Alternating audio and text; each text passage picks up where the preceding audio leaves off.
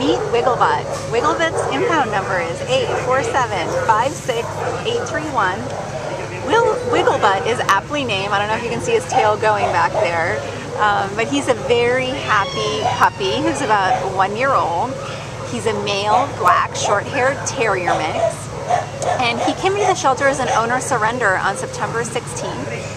The owner said that they had too many dogs um, and could no longer care for him. So they brought him to the Downey shelter and we're going to find him a good home.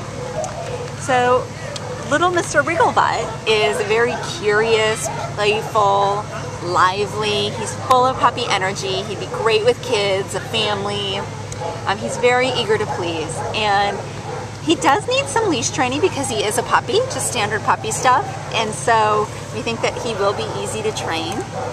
And he's just an all-around great dog, really for anyone in any living situation. So if you're looking for a great little dog, please come down and meet Wigglebutt today.